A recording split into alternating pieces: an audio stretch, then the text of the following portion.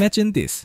You are driving down the highway, zoning out, and then, wham, your car nudges you back into your lane. Is it magic? Of course not. The magic of lane keeping assist. But how does it work really? And should you actually trust it? Let's wade in. Now there's also lane departure warning, which is just your car's way of shouting, yo bro, as you start veering off without indicating. Lights flash, a beep sounds, or it even gives you a little seat vibration. But the lane keeping assist takes it to a different level. It actually steers your car back into the lane. Yup, like your car has a set of hands on the wheel, guiding you so you won't be drifting into the next lane by mistake. This tech is part of level 2 autonomy, the I got your back but you're still in control kind of deal. It aims to reduce human error, especially during long highway drives. With the starting lineup in 2022, it officially became compulsory for new cars.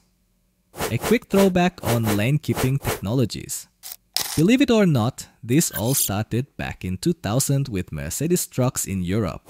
They wanted to keep truckers from drifting, so they gave them a little nudge with sound and vibration.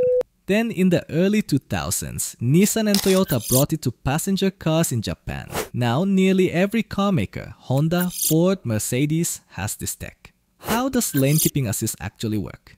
Here's how it goes. A camera near your rearview mirror keeps an eye on the road and the lines. If you begin to drift out without signaling, it will send a little warning your way in the form of a vibration or sound. Never mind correcting it.